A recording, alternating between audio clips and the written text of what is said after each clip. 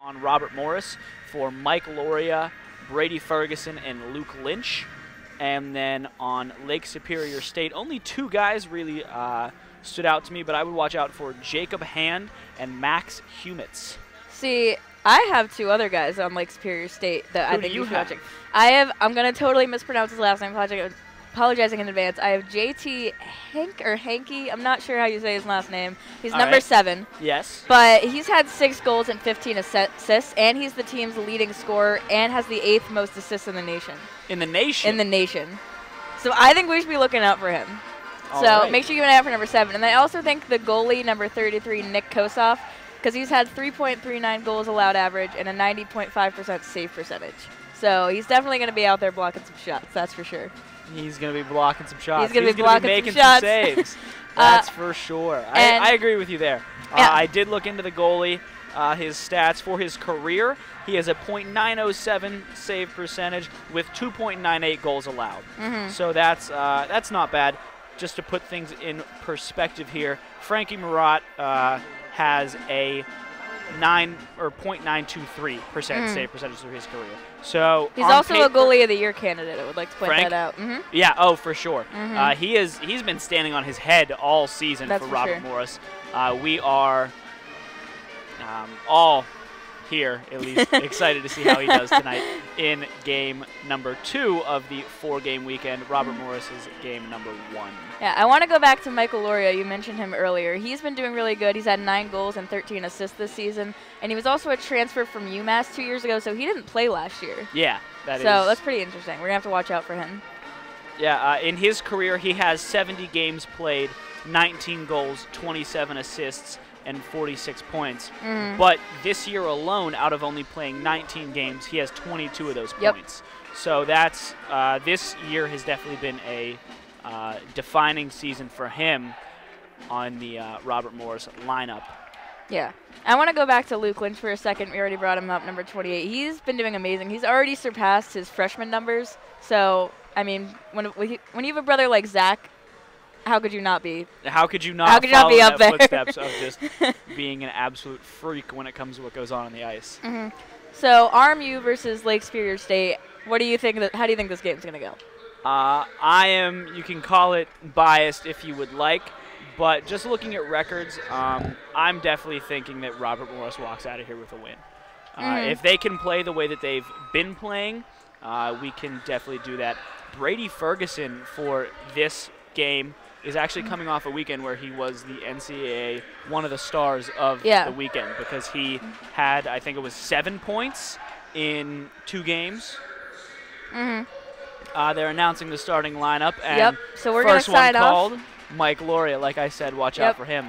We're gonna wrap it up here. Uh, let Ian Kist and Spencer Witt take over for this game. So, Matt, you want to sign us off? Signing off for the pregame show, this has been Matt Simkovic alongside me, as always, Morgan Torchia for RMU Radio. Your campus, your voice.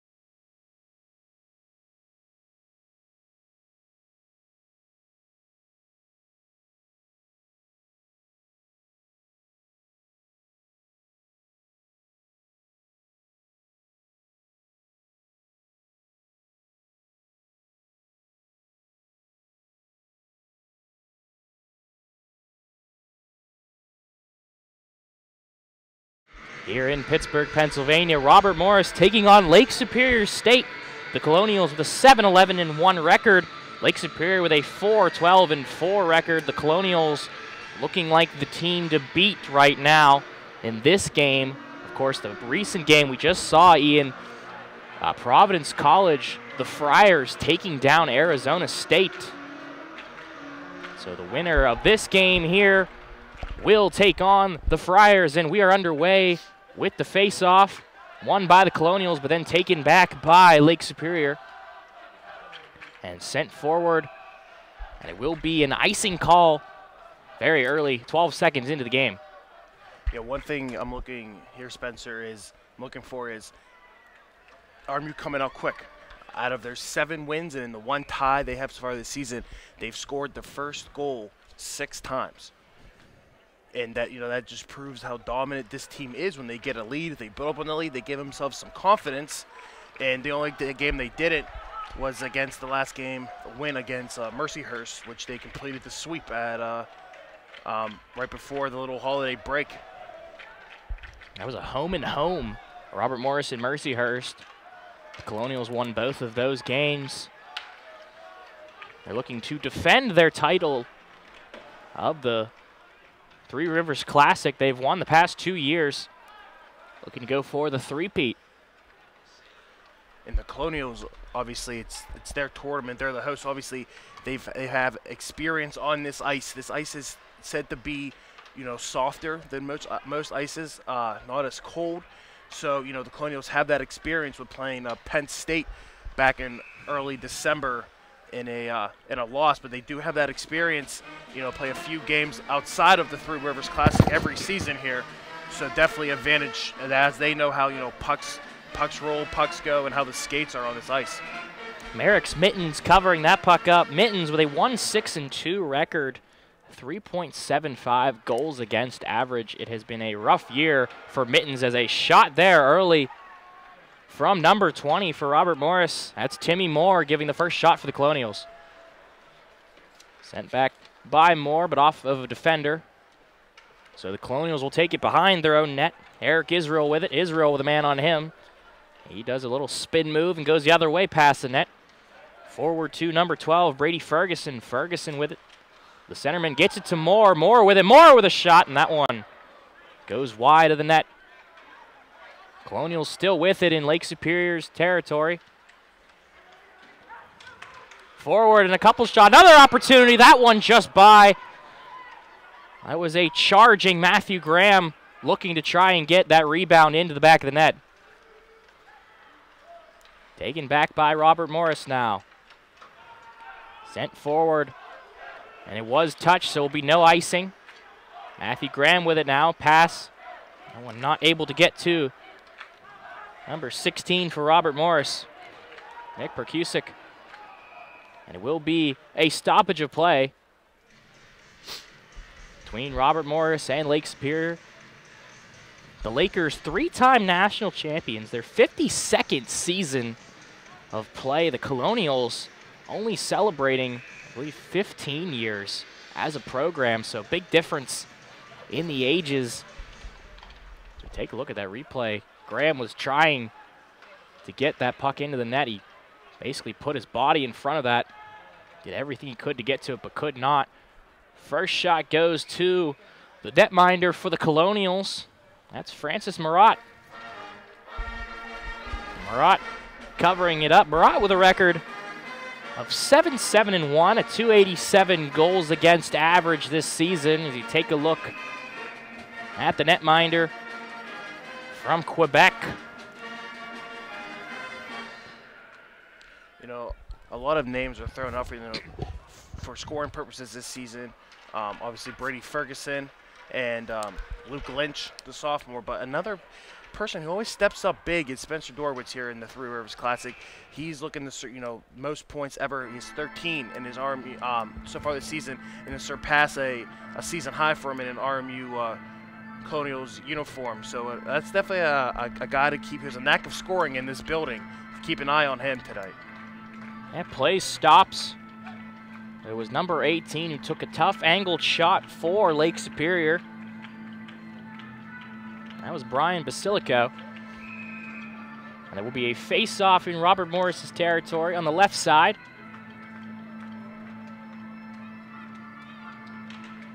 Face-off won by the Colonials.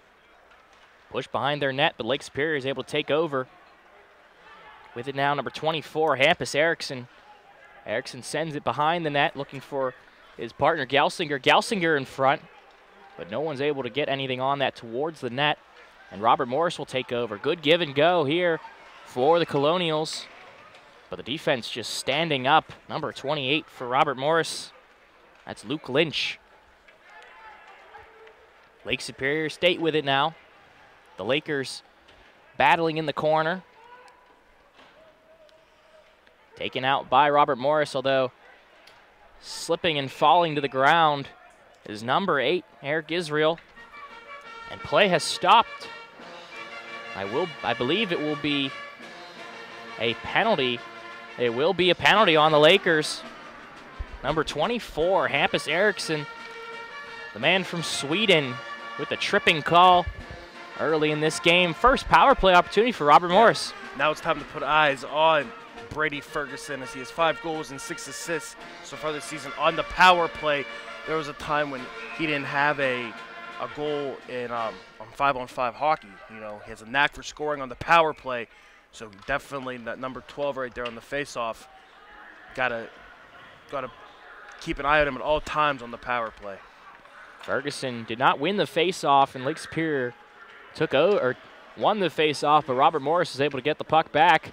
Their first power play of the game, shot in front, looking for redirection, but nothing there, and the Colonials will take over again.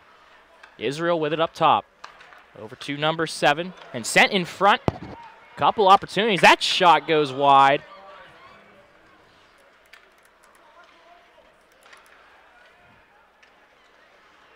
And taken now by number 20, Timmy Moore.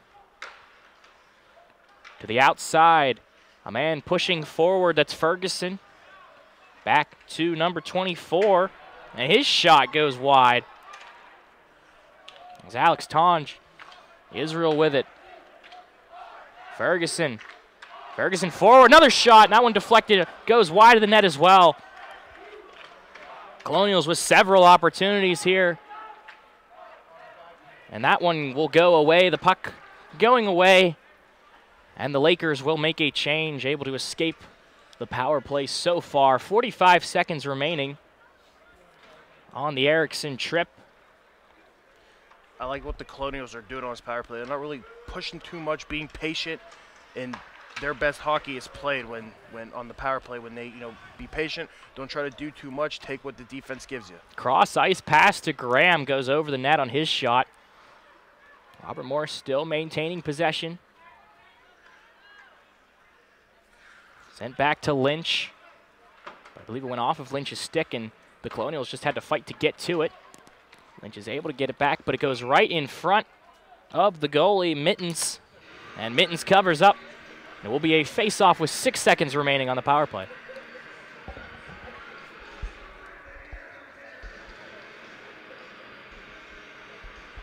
Yeah, like what the Colonials are doing. They're they're like I said, they're not they're not pushing much. They're they're a lot of juicy rebounds from Mitens so far, and they're trying to take advantage. But the Lakers doing a good job of getting guys in front of him to prevent you know and get those deflections. That shot goes over the net from Lynch. Graham with it. Over to Bonji. Bonje, excuse me. And taken now by the Lakers and pushed forward.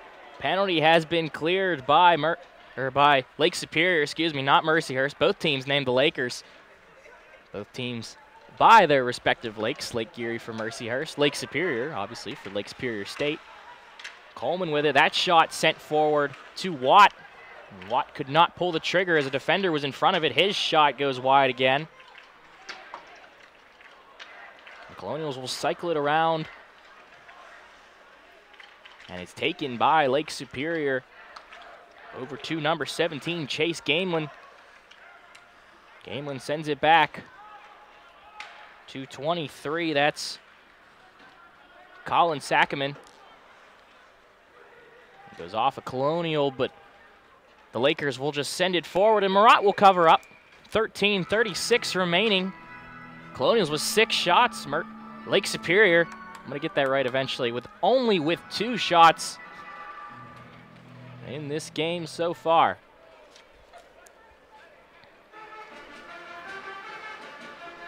I mean, we've seen when you know when the Colonials, you know, when they are aggressive offensively. That's I mean most hockey teams. But for some reason, for the you know the Colonials, it just sticks out when you know they get off to uh, to a slower start. It kind of you know progresses into the second period and then into the third period. So even you know with 13:36 remaining here in the opening period, it's still a good chance. Good. Robert gets that first goal, I think we're going to be, like I said, they score first. They you know they're very uh, successful. Um, but right now, doing you know out shooting them 7-2 uh, with 13:36 left. That's a great way to you know start. You know a lot of shots aren't going, but they're you know you're not going to score if you don't shoot, Spencer. So I I like the uh, the aggressiveness so far, even on that power play. That power play, uh, not the result they wanted, but uh, with the goal, but very uh, very impressive from what I saw. Saw shot of head coach Derek Schooley. Schooley in his 14th season at Robert Morris basically has made this program himself, built this program into what has been a team to watch in the Atlantic Hockey Conference every year. Although this year, not the start that they wanted as that puck goes into the netting and it will be another face-off. Colonial 7-11 and 1, like I said, 6-7 and 1 in the Atlantic Hockey Conference. They're usually sitting at this position, usually about first or second in the conference, but right now they're middle of the pack. But And- like like we said before, those two wins against Mercyhurst, they're really trying to turn this team around. And we bring up, you know, their slow start, but a few years ago, it's the fifth year of the uh, Three Rivers Classic. But when they made their run to the NCAA tournament um, a few years back, uh, before my time here at Robert Morris, it was it was the Three Rivers Classic that that got things rolling. They did Colonials use this even last year. Not you know the best start to the season as well, uh, but use this to propel them to what turned out to be you know um, the championship, the conference championship game they, they got themselves to. Opportunity and a goal for Robert Morris. It's number 20, Timmy Moore. As that puck in front, Moore is able to put it home. First goal goes to Robert Morris. Beautiful dish right to Moore in front of the net. Nothing Mitens could really do on that. And that is another name as a senior that we haven't been hearing. And, you know, I think you can, you know, speak the same here, uh, Spencer. We want more and more and more scoring.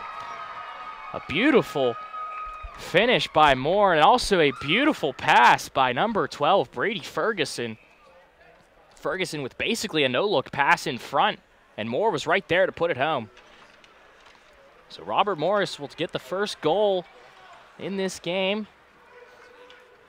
Take a 1-0 lead as an icing is called on the play. As a reminder, the first goal goes to Robert Morris, and like you'd said before, they are when they score first, it's usually a victory for them.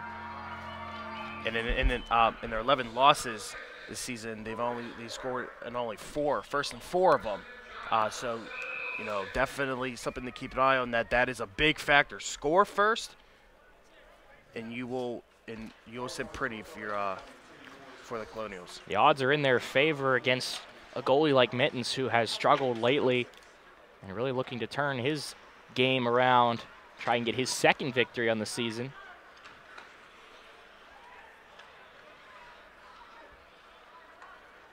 Robert Morris with it now. Bonje forward, but it goes off a player, and number seven with it. That's JT Henke. Couldn't get it forward. Robert Morris will take over, sent in front, or excuse me, sent into the corner in Lake Superior's side. Moore with it. Then sent over, but Lake Superior will take over. Henke sends it forward. Actually, correction, he sends it cross ice, and then it's sent forward so Lake Superior can have a line change. Israel, defender, tries to get around two defenders, but could not.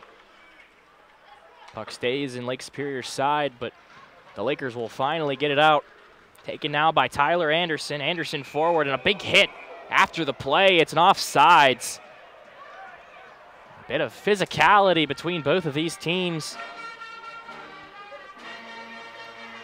Believe it was Israel who either had the hit or had a little shoving afterwards.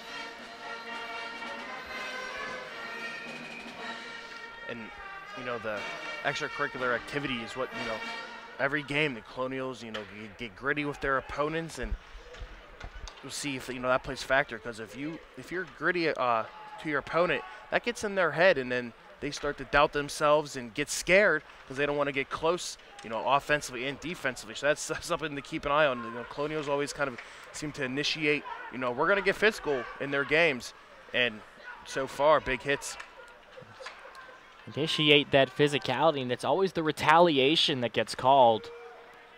When you're down a goal like this, if you're Lake Superior, you don't want to get yourself in too much of a hole, mentally and physically. So the Lakers with it now in their own zone, just cycling around. Humitz forward. Gels Gelsinger just sends it past Marotte. Nothing that they could do. Lakers with two shots, Colonials with 10. And then swung around to Dorowitz. Dorowitz fighting just to put it towards the net. But then taken by Lake Superior. Humitz with it. Humitz sending it forward. Gelsinger as well over there. And Humitz gets it back. Humitz sends it back to Gable. Excuse me, that was Cable, not Gable, who sent that in, and Marotte covering it up. So will be a face-off in Robert Morris's zone. 10-17 remaining in the first period. The Colonials were the first team to score. It was Alex Tonge, or excuse me, Timmy Moore, who scored for Robert Morris. That shot goes off of a stick right off the face-off, and we will restart and have another face-off.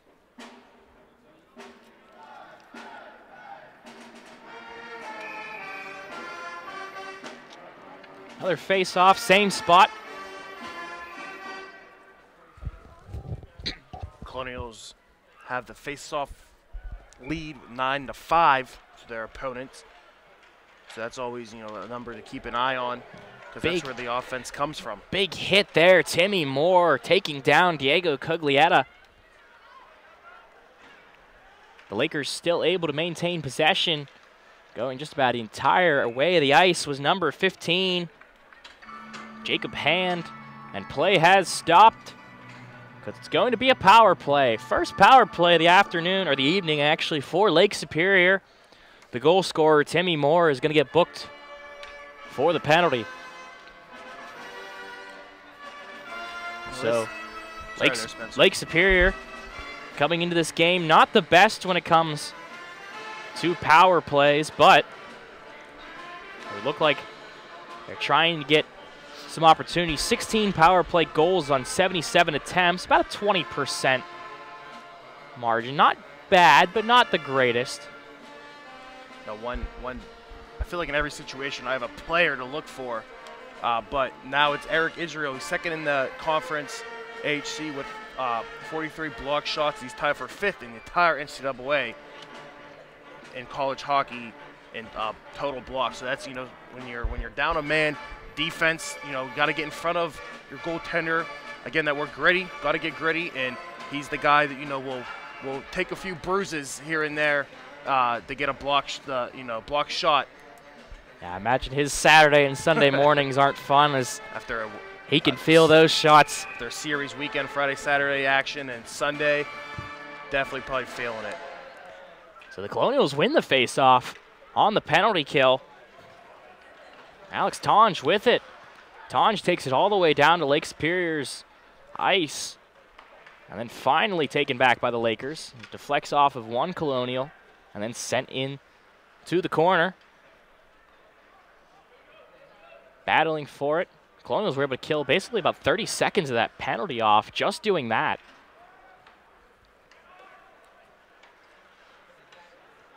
Now taken by Robert Morris again. Mercyhurst, or excuse me, Lake Superior has yet to manage to get anything out of this, although that puck goes right off the side of the net. And taken by Israel and off of the referee. Unfortunate bounce off the referee again and kept in by Lake Superior. That shot goes wide.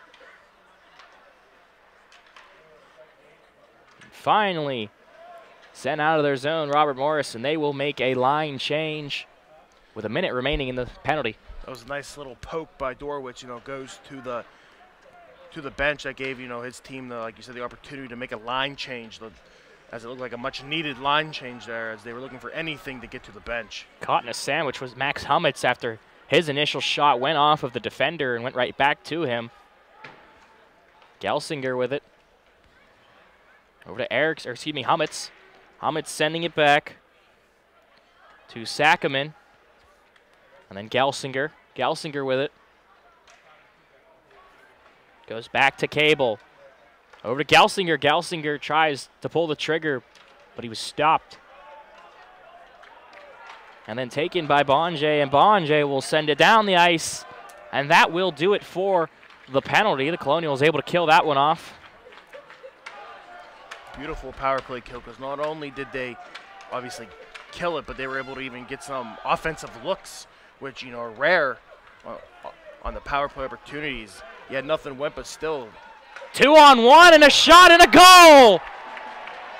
What a goal for number 24, Alex Tonge. As a cross ice pass goes right to him and he puts it in the back of the net.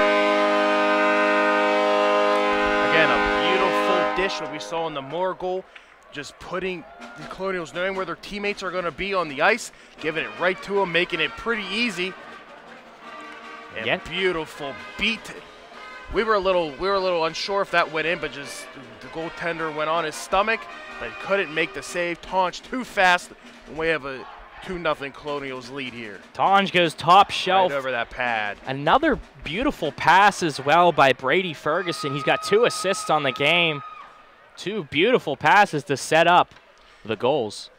you know, when, when it seemed like it early in the season when Ferguson was doing all the scoring, you're, uh, it was someone has to step up. You cannot rely on one individual to do all the scoring. And here we are. And uh, Brady says, you know what? I'm gonna, I'm gonna dish it out. I'm gonna, you know, get my points via some assists here. And beautiful dish to Alex Tonge. Colonials looking for more now. And not Timmy Moore. I'm talking more goals. As this one is behind Lake Superior's net. Graham with it. Lake Superior finally able to get it out of their own territory. Sent down the ice. And taken by number five for Robert Morris. Sean Giles. Giles forward off of Mantenuto's stick, so no icing. Sent back and then taken by Ryan Renz. Renz, the defenseman, sends that one forward and battling for it at center ice as a couple players. And I believe we're going to have another penalty. We will on Mercyhurst. It's going to be the assistant captain, number two. It's Ryan Renz. Renz going to get booked for a penalty, so another power play opportunity for Robert Morris. Again, I think Colonials, you know, be patient. You know, crashing the net, you know, has worked, but don't but don't do it too fast. I mean, wait if it takes you the last 10 seconds of the power play. You know, be useful with it. And I think you know if the Colonials can get a goal here and go up three nothing, I think they'll be, uh, you know, sitting pretty. But you know, don't that that, that doesn't get in their heads. As we have a poke away here by Lake Superior State. Eric Israel couldn't handle the puck. And Gage Toro with a beautiful poke to take that one away from Israel. And the Colonials with it again, though. Ferguson, Ferguson's shot goes right into the pads of Mitens, and Mitens will stop play. you know, good. You know, the Colonials were looking, you know, set something up, but then Lake Superior State got a stick in there and set the puck flying the other way. So I think another good opportunity with the Colonials. The 12-6 face-off win so far with 6:13 here left in the opening frame. A chance to get the puck, not necessarily on here, but able to bring it back as the puck goes all the way down the Marotte on the opposite side of the ice. This is a chance to reset as it looks like, you know, not doing too much. So McKay won the faceoff for Lake Superior and sent it down the ice. The Colonials will restart with a minute 15 remaining in the power play. Sent back, but Eric Israel could not hold on to it and went over the blue line, so everybody will have to come back and restart. A minute remaining in this power play. Israel with it. Israel sends it over. That shot goes off of the blocker of Mitens. Another shot off the blocker of Mitens. It's Michael Loria who took both of those shots. Alex Tonge with it. Tonge pokes it to Ferguson. Ferguson was looking for Loria. Loria was able to get to it, though. Loria on the side. Skates up with it. Over to Ferguson. Ferguson comes right back to where Loria was, goes cross ice to Israel. Israel over to Loria. Defender on him. Lake Superior is able to earn possession for just enough time, but cannot get it out. Loria with it now. Over to Israel. Sent over to Tonge. Tonge with a shot off a defender. An opportunity, and it does not go in. It's the goaltender Mitens who is able to cover it up. I believe he caught it between his legs. He didn't realize that the puck was kind of in between him, underneath him, because he then, you know, lost sight of the puck. It looked like, and he then he looked frantic. He looked right into the net. He thought one trickled in, but it did not, and he gets credit for that save. So Mitens just trying to keep his team in the game. 2 nothing in favor of Robert Morris. With an intermission, five minute intermission. Well, not five minute intermission, but the intermission at the five minute mark. Taking a look, Damon Whitten is the head coach of Lake Superior State. He was an assistant at Michigan Tech. And he's trying to turn this program around and so far this year, it hasn't been the best of times at Lake Superior. 4 12 and 4, but a solid weekend at the PPG Paints Arena could hopefully turn their season around. Yeah, the uh, the Rivers Classic kind of does, you know, some miracle work. I mean, it seems like every year kind of gives, even the teams that lose, kind of gives them, you know, a boost. I mean, holiday hockey doesn't get much better than this. Always teams always come prepared, some some good holiday hockey.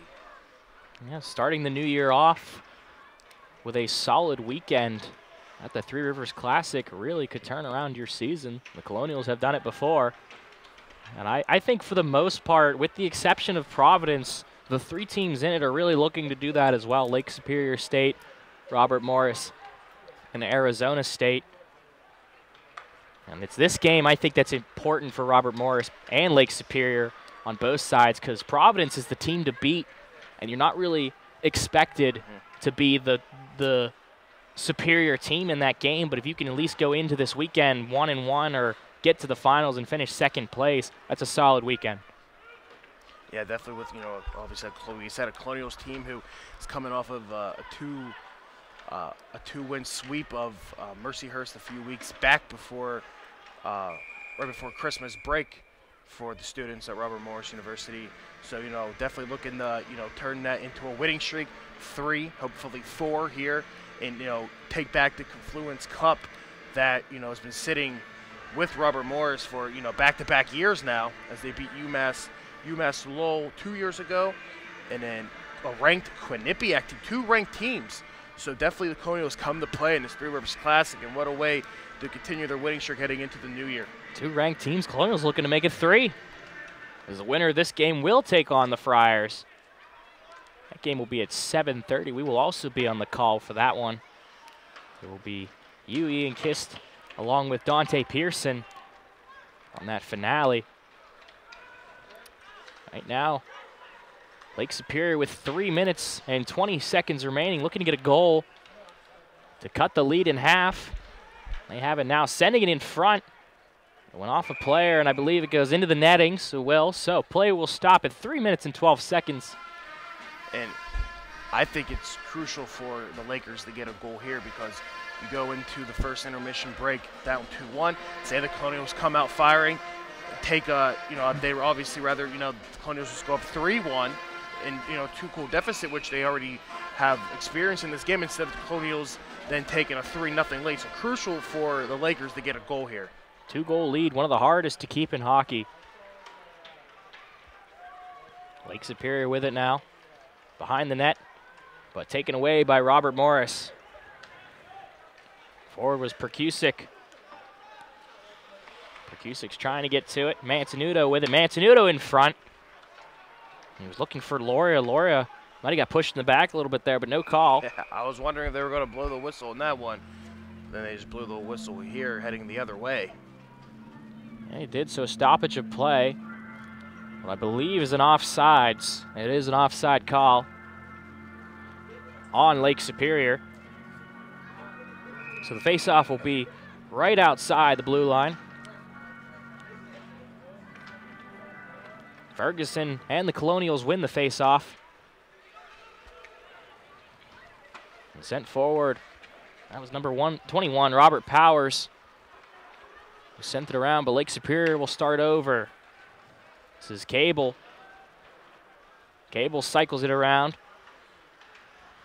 Looking for some help. He's got number 24. That's Eriksson. Saccoman with it now. Saccoman cycles it around, looking for Eriksson. Eriksson, Eriksson slips in front of the net. Powers dumping it off to Ferguson. Two on two. Ferguson gets around one man. Two on one. Ferguson with he scores. Brady Ferguson, he sets up everybody else. He says, I'll take it myself this time and gives the Colonials a 3 0 lead. He knew it wasn't going to take, you know, take him long to get on the board. You know, two assists and now the goal.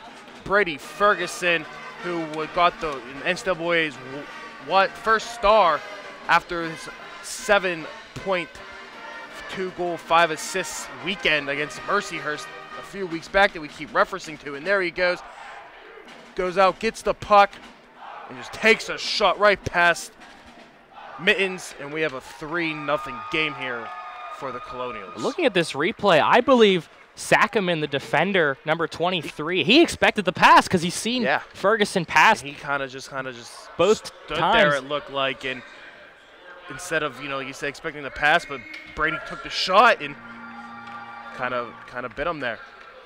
Frustrating one for Lake Superior, and like we were talking about, then trying to cut the deficit in half. Instead, it's Robert Morris's goal, and almost inside the net. How did that not go in? It bounced just about everywhere except for past the goal line. game of game of inches there. Havoc in front of the net, but Mitens did a good job, and his defenders came to his help to get that puck going the other way to give him some breathing room. Only a little bit of breathing room, though. It's an icing call on Lake Superior. As we take a look at the replay, this puck goes everywhere. I don't know. Mitens might have got his foot on it a little bit. This will be a good judge. Here goes off the post. And then the initial shot again. Ah, That was Luke the Lynch. way that looks, but that that looked like it may have not even touched Mitens, barely at all. What we thought came off his glove and his um or his pads rather, kind of just went under and all around it, but not on his pad. So kind of a, a, a different kind of unique play there. So Robert Morris with it now, still in Lake Superior territory. 3 0 in this first period. Israel with it. Israel takes a shot, goes off a defender. Israel gets it back, though. Over to Lynch.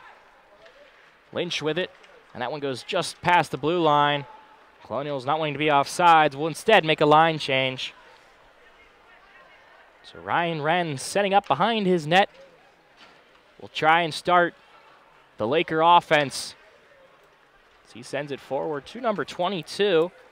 That's Aiden Wright. Aiden Wright sends it forward. But I believe it's going to be an icing call.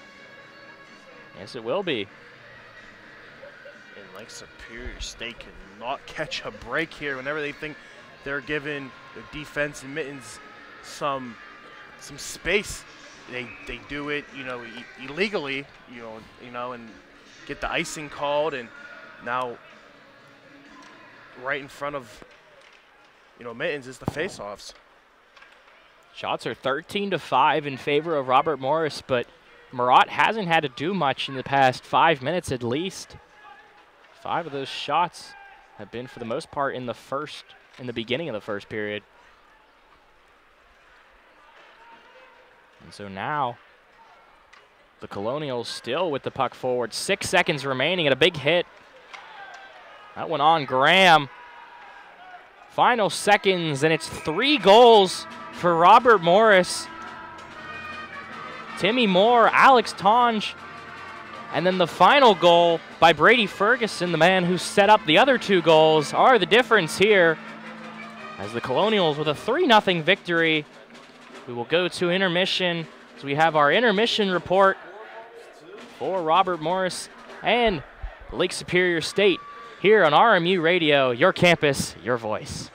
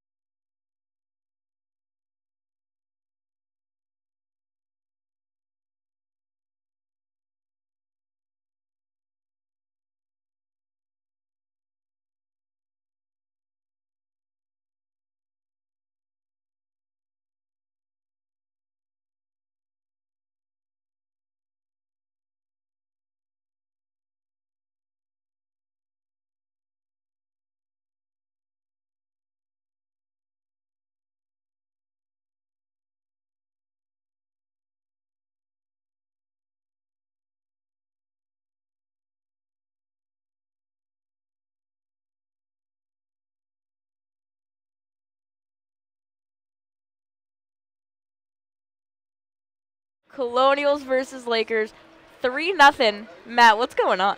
What's going on is uh, Brady Ferguson is dominating the Lakers. Um, so in that period, three very uh, spread out goals. Uh, one came Mm. quite early, then the other one came about halfway through, and then the third one came a little bit after that. But Brady Ferguson has three points on three goals in one period, coming off of a weekend where he had, I believe it was seven points in. Uh, seven points in two games. I just had, and I just had a blank space there for a second. But um, on that third goal, I would like to point out he did something incredible. He walked around the blue line, came in around the face-off circle. On it would be the right side if you're looking at the net he scored on. He pulled it across and then chipped the puck under the Mhm. goalie's arm just before he closed it right in the nick of time, and uh, it it went in, and it was a fantastic goal. Um, I think the Colonials are, at least for that first period, they were dominating. Uh, would you agree to that, Morgan? Uh, of course, as the yes man I am, I would agree to that, Matt. This has been a, this has been an interesting game so far. We're only in the first period. Yeah, it's uh, it's going crazy. So, what do you have to talk about after that 20 minutes of play is now over? Well, I want to talk about Lake Superior State real quick. Okay. So, uh, let's see what we got here. They have, I'm sorry to say it, one of the worst penalty kills in the nation. They're 49th. What do you think about that? I actually was unaware of that. I did Yeah. not know that. Um, but that's, I mean, yeah, they've I, had I a can see it. Like, they've had a 1-4-1 record this month. one, four, and one. Yeah. Um, and uh, even their tie, the coach said it felt like a loss because Michigan Tech uh, claimed that extra WCHA point in the shootout. yeah. Um, so then they haven't been great so far. I'm not gonna. I'm not. Yeah, I'm being they- blunt here. If they haven't been great so far, um, I don't mean to be rude here on broadcast, but it's kind of showing. yeah. Honestly, I mean, 3-0 to uh, the Colonials after one. That's it, it's big. Yeah. I mean, that's a big first period. And- RMU came out and they threw the body. I'm gonna. You were trying to talk. Nope, you're I'm good. gonna talk right over top Please of you. proceed. Um, but there was a big hit by Elias Gontus. Um, he came in. Someone came in on his side and made the mistake of having their head down, and he picked them up and threw them into the boards by Yeah. the Colonials bench. But That was uh, wild. they did a good job at coming out here and setting the tone. Uh, they look very fast. They look very physical. And as the scoreboard is showing, they can certainly put the puck in the net. Yeah, uh, I would also like to point out that Lake Superior State, when they've been trailing by the end of the first period, they've only ever won one time. So Okay. let's see. We're gonna see if that track record continues. You know, hope Yeah. as a as a Colonial student myself, of course I'm gonna root for the Colonials to uh, keep that track record going. I'm not gonna lie, Yeah, I mean, but I, you know, you never know what's gonna happen. Yeah, uh, hockey is one of those games where anything can happen. Uh, upsets happen all the time, and whenever they do, they can be big ones. So this could be one of them. Uh, let's hope Lake Superior State uh, does not come out and rewrite their story and turn it into a fairy tale ending. Let's hope that Robert Morris, just like Providence did uh, earlier today, just keeps the gas pedal floored, and they are able to come out of here with a win. Yep. So three nothing right now. Colonials Lakers. Uh, Morgan Torchia, Matt Simkovic. Matt, you want to finish the sign off? I'm going to finish the sign off. So she already said our names, and Sorry. we have been here for RMU Radio, your campus, your voice.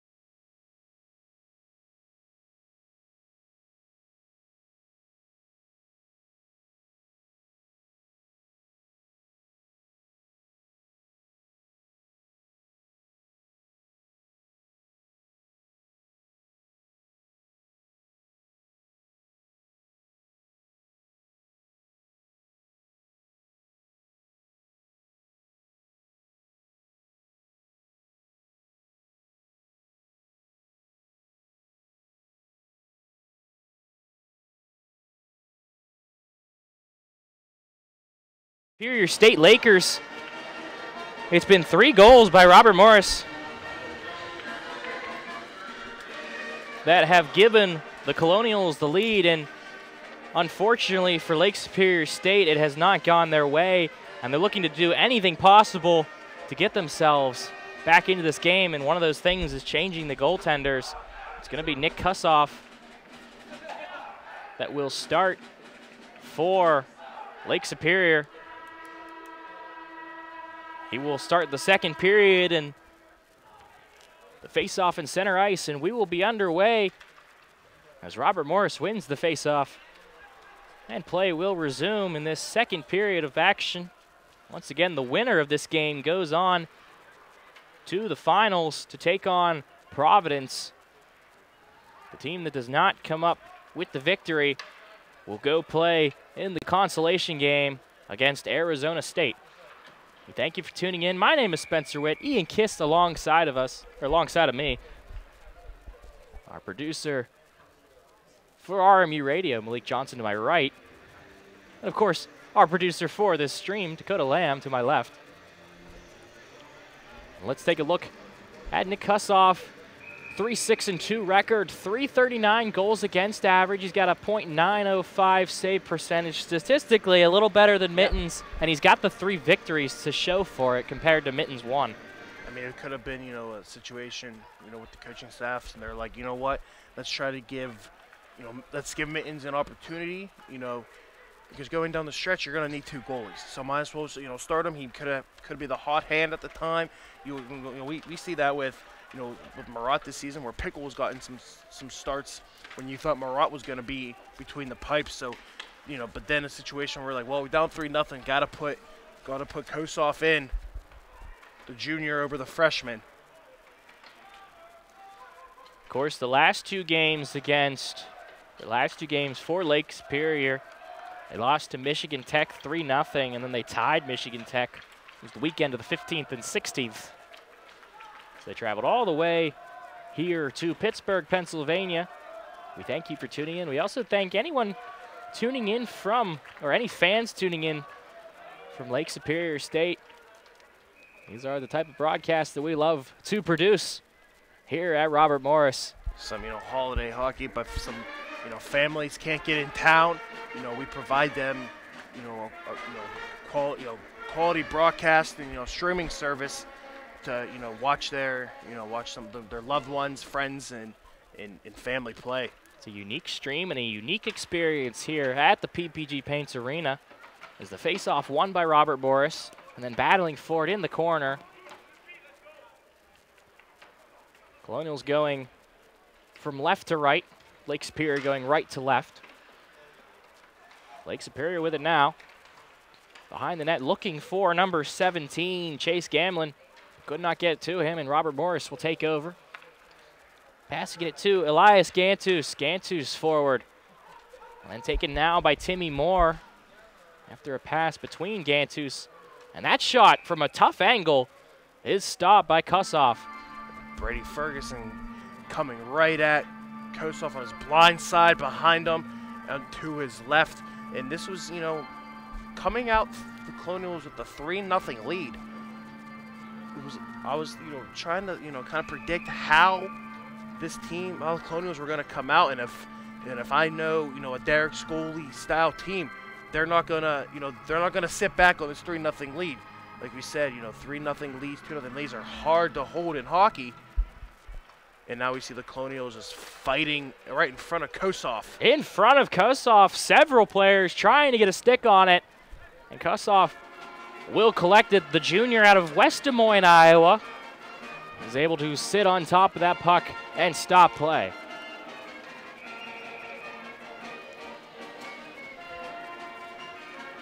Face off won by the Colonials for a minute, though the Lake Superior is able to, well, can't send it out cor yet. Correction. Set in front, shot taken in a glove save by Kossoff. Play will stop.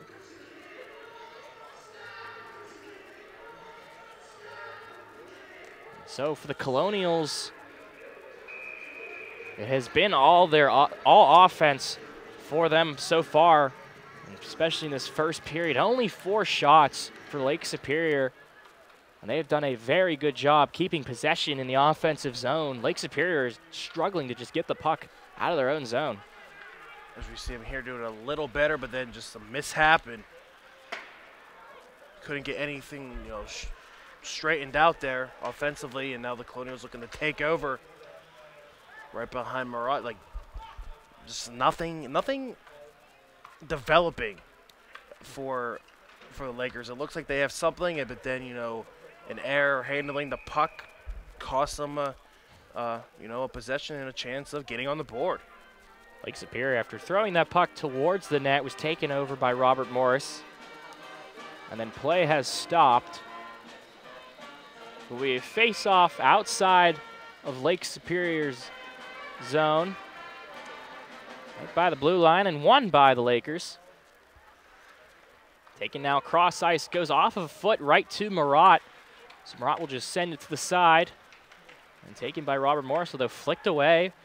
Forward to Gelsinger. Gelsinger towards looking for number 24, Hampus Eriksson. Eriksson with it now.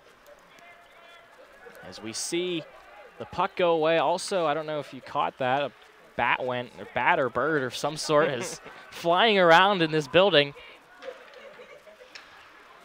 Right in front of us. That shot taken. I think there's a few birds in here, honestly. Max Humitz took the shot for Lake Superior. And play had stopped with 16.28 remaining in the second period. Colonials with a three goal advantage. Shots are 24 to 4 in favor of Robert Morris. According to the Jumbotron in the middle of the ice. Face-off taken by the Lakers. But after the Colonials took over, I believe there's going to be a penalty.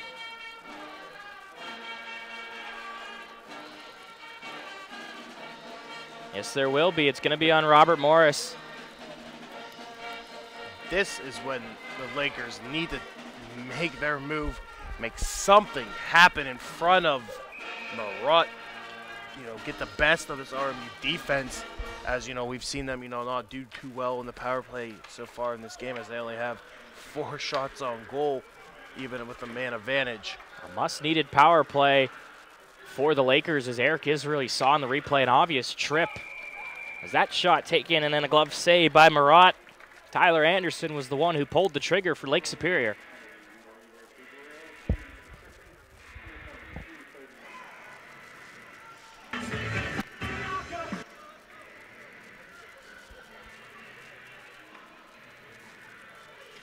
So face off in Colonial Zone, won by Lake Superior.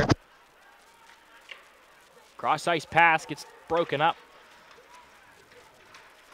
Lake Superior doing everything they can to keep it in, and then it's finally cleared out by Robert Morris. So Lake Superior will take over. It was number two, Alec Bonje, the captain, who sent that one out. Looking to get around a defender, number 15. Excuse me, number 19, Anthony Nellis. No, number 15, correction, that was Jacob Hand. The right winger for Lake Superior, and it was, broken up. Lake Superior will have to restart their offense again. Taking forward defender on number 29. Nothing that they could do was Gage Terrell. And play has stopped as it will be a penalty on Lake Superior this time. Not what the Lakers were looking for on the power play. Yeah, now we're going to have 55 seconds of four-on-four hockey before Eric Israel makes his way back onto the ice out of the penalty box for Robert Morris. And again, just the Colonials just wreaking havoc when the Lakers have possession of the puck in the offensive zone. The Colonials doing well, you know, defensively. Just nothing. I sound like a broken record. Just nothing developing for the for the Lakers. Anything, you know, errors with the puck handling, just everything. The Colonials just ru- ru- running this game. Gage Terrell gets two minutes for interference for Lake Superior. Shot taken in front of the net off the rebound. To number 28, I believe. And a shot and a goal. A goal for the Colonials. It's number six, Nick Jenny, the defenseman, gives the Colonials a 4 0 lead. Know, the Colonials, you know, the, even four on four, just getting getting guys to the net. As we look at this replay, obviously you can't see it at home, but listening to this, but again, just taking shots, moving towards the net, going over Kossoff's far side, over his glove hand, and you know, Colonials just making offense happen, not being too shy. Now they lead shots on goal 25 to 5. Jenny gets the perfect placement for that shot to give Robert Morris a 4 0 lead in this second period. Or, or excuse me, Lake Superior trying to take this shot, trying to start something. I do want to apologize to any Lake Superior fans out there. Our last broadcast that we had for RMU TV on the Colonial Sports Network was Robert Morris taking on Mercyhurst hockey. They are also the Lakers, so I have had it in my head that it was Mercyhurst doing a game against Robert Morris, and then now with both teams being the Lakers, I get confused a little bit as Lake Superior sends that one out as they are now on the penalty kill. 29 seconds remaining. Robert Morris with a bit of a power play here. Ferguson with it. Ferguson stops, sends it towards number 24. That's Alex Tonge.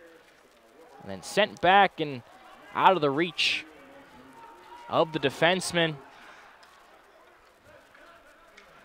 Number 20, Timmy Moore. So Lake Superior will clear the penalty. And we will go back to even strength, full strength actually. Puck cycled around, taken by number 29, Gage Terrell. A big hit on him. Jacob Coleman went right into Terrell as Marotte sends it around. Taken by Lake Superior. The far side, Terrell. Terrell taking a shot, blocked away as Nick Jenny was right in front of that one. Coleman with it now. Coleman on the right side, sending it in front, out of the reach of everybody, except for a Lake Superior player who sends it out. Coleman with it again, sending it forward. Taken back, flicked back by Nick Jenny, and then sent into Lake Superior's zone.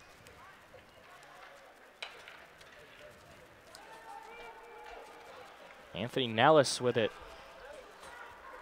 Actually, correction, that's Brian Basilico who sent it forward.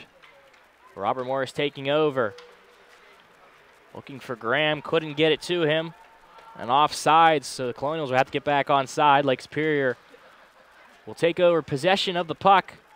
They send it forward out of the reach of number 24, so it will be an icing call. that Hampus Eriksson the pass was looking for. We will have a face-off in Laker zone.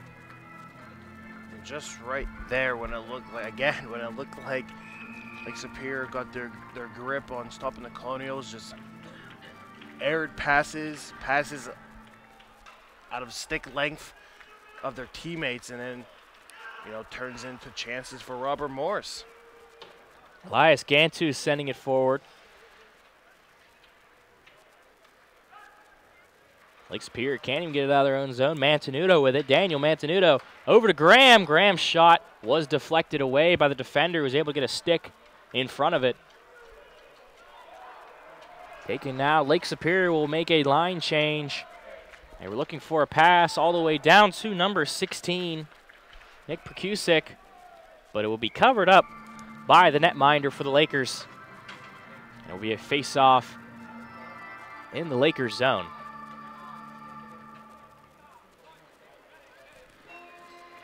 Take a look at Lake Superior's goaltender, Nick Kossoff. One goal given up for him. Eric Mitens, the starter, gave up three. The reason we are at a 4 0 lead for Robert Morris. In this game here, Spencer, looking very similar to what we witnessed during Dante and Logan's broadcast of the first semifinal game here in the Three Rivers Classic. Providence College versus Arizona State. You know, the one team just dominating in one one specific category that sticks out is the shots. Right now, today, our game is 25 to 5 in favor of the Colonials, and it was to a point where, if I can remember correctly, that Providence had 30 some shots to, you know, 13 in Arizona State started to get some later in later in the end of the third. Uh, they were pushing near 20, but just dominant performance as that, that we're seeing with just Colonials just firing every possible puck they can at the goaltenders. Yeah, if you missed the previous game, it was a 6 0 victory by Providence. Arizona State had, they were between 11 and 10 shots in the first period, so it was a very split game in the first period. Then the second period, Providence just took over. They were already up 1 0 after the first period. Arizona State, in a period and a half of play, had under three shots. I don't remember if it was one or two, to be honest. So I'm going to just say under three. Second, second period, the Friars outshot um, Arizona State 19 to one. We're looking at sort of a similar situation. Unfortunately, if you're a Lake Superior fan, they only have five shots right now. Another shot, but that one blocked away by the defender. If you're a Colonial fan, this is exactly what you're looking for in this Three Rivers Classic, getting off to a lead and getting off to a commanding lead. Yeah, not you're not just getting, you know, a 4 nothing. You're getting dominant play. You know, not just only in, in, in the score column, but just defensively, power plays, shots, just doing everything right right now. Trying to send a message that they are the two-time defending champions of this tournament. Puck taken forward by Lake Superior in Colonial zone.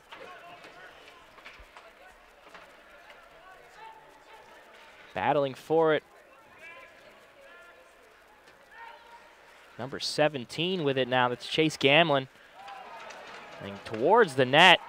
A couple players going down, but kept by Lake Superior. That shot goes wide of the net. Taken by Robert Morris and pushed out of the way. Was Lake Superior and Robert Morris just sending it out of their own zone to get a bit of a change, a bit of a breather. As Lake Superior has had it for about 30 seconds to a minute at least now.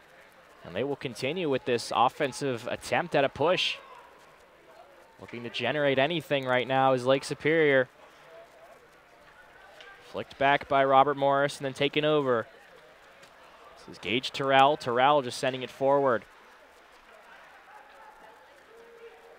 Flicked onward off the boards to number seven. That's JT Hankey. Watt with it now. Telling the defender get out of his way. His Watt. Opportunity for Robert Morris in front. That one could not be put towards the goaltender. Coleman battling with it and then sent forward by Lake Superior. Taken by Eric Israel. Israel quarterbacking this one is knee to knee, and that's going to be an obvious penalty on the play. Eric Israel is able to get around his defender basically. And the defender stepping in front will be called for the penalty. Paid paid for that one and flown down to the ice was was Israel. But again, another opportunity for the Colonials to cash in on the power play. The freshman from North Carolina, William Rydell, will be booked for the penalty. So the Colonials will go on the power play again. As we take a look at the Giant Eagle Kiss Cam. Fans taking in the action here of this game between Robert Morris and Lake Superior has been all Colonials so far in about a period and a half of play. Doing whatever they can to get back into this game is Lake Superior, but they will have a power play to kill off.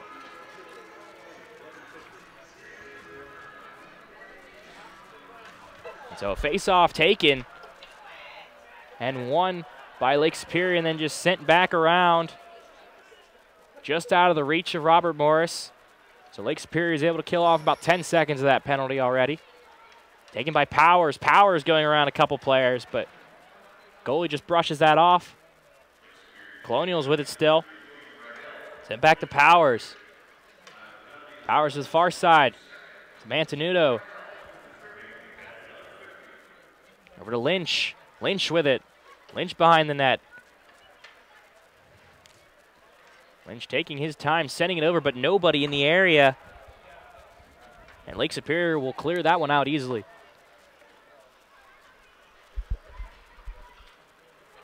Putting pressure on Robert Morris, and then Graham will now start the offense to Dorowitz. Spencer Dorowitz in front, looking for the goal, and they get it. Luke Lynch on the rebound gives the Colonials a 5 0 lead. And the Pittsburgh native, Luke Lynch, right there at the right time, right spot at the right time, cashes in to give the Colonials a 5 0 lead here in the second period. And he usually has a big supporting supporting cast with his family being from Pittsburgh. I know they always came out and they supported his brother, uh, Zach Lynch, when he was a Colonial, the all-time leading scorer in the, for the Colonials, Rob Morris hockey men's hockey program. And now he puts on a show for his native crowd with the fifth goal. Again, just Colonials beautiful. You know, timing's been perfect. They know where each other are in the ice, and you know, five nothing lead right now. A beautiful placement by the shot attempt, and then it was number 44, Matthew Graham, who was able to deflect it towards Lynch. And Lynch had what probably might be, other than an empty netter, his easiest goal of the season, just in the right place at the right time to put that one into the back of the net. He's a player who his brother's all-time leading scorer Morris. When when Luke, when Luke is eventually a senior, and his time is done in a Robert Morris uniform, he could very well pass his brother Zach.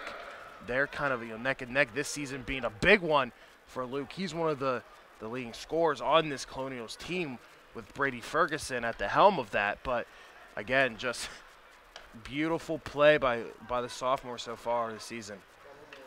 The sophomore has a lot of time left here in a Colonial uniform and making the most of it, giving Robert Morris a five goal lead in the second period.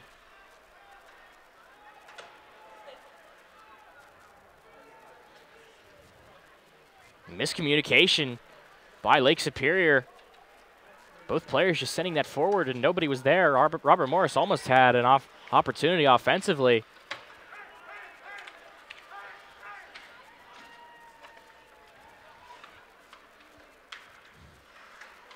Taking it now and then sending it to the left of Marotte. Behind the net is Lake Superior.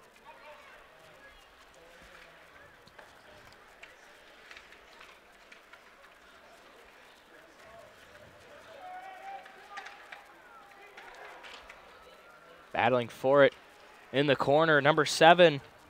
JT Hankey with it. Hankey looking for some help. He sends it over to number three, William Rydell. Rydell with a shot. And it's just flicked over by the Colonials. And it will be another opportunity offensively for Lake Superior as they will restart. What a move there. And a shot opportunity goes wide for Lake Superior.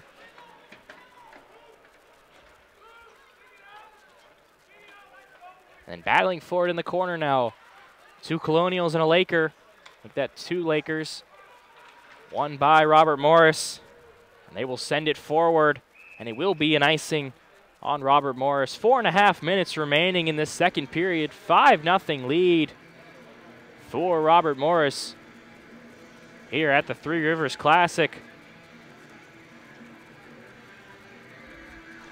Taking Always a fun time. It's a holiday.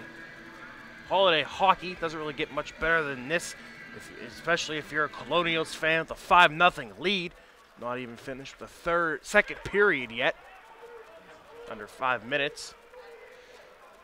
Antonuto comes streaking down the right side, able to get to that puck, sending it in front. Looking for a couple Colonials to put it home, but they could not. Sent forward, and will be off sides on Lake Superior. So we will have a face-off outside of the Colonial zone on the red dot next to the McDonald's logo. As both teams switching their lines, and we take a look at the scoring. So we got Giles with an assist. Jenny has a goal. Mantenuto with an assist. The big one is, the big two, I should say, is Ferguson and Moore, both with a goal and two assists. Powers with two assists. Tonge with a goal. Lynch with a goal. Graham also has assist. Spencer Dorowitz has an assist. I'm out of breath. it's 5 nothing here, and it has been all Colonials, and everybody has been getting on I mean, the score sheet. That is what I love to see, you know, passing it around. You know, the past couple years – you know, with some big names leaving this Colonials program, it was a lot. Of, you know, people were like, you know what, this is Brady Ferguson's team, but it, it, it, he could be the leader. He's not the captain, but he can still be, you know, a big leader. But you can't be all one. Like I said before, can't be just one individual, one guy. I pass around him. The fact that three guys up there have uh, two assists, that is something that you know noteworthy there. Colonials have five seniors Ferguson, Dorowitz, five seniors starting actually Ferguson, Dorowitz, Bonje, the captain, Gantus, and Robert Powers. They also have Andrew Pickle, their backup goalie, is also a senior. Would not be surprised to see him get a little action, depending on how the rest of this game goes. Up 5 nothing.